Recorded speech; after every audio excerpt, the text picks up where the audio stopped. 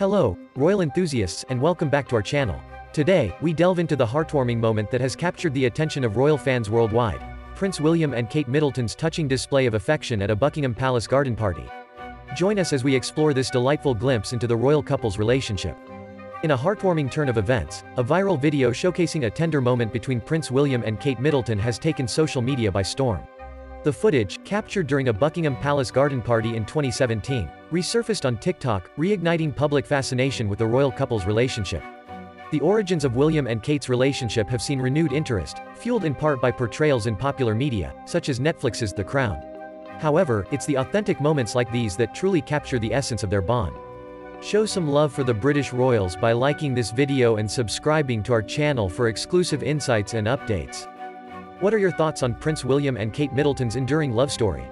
Have you witnessed any other heartwarming moments between them? Share your favorite memories in the comments below.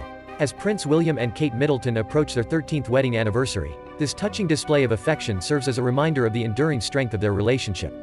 Join us in celebrating their journey together and wishing them many more years of love and happiness.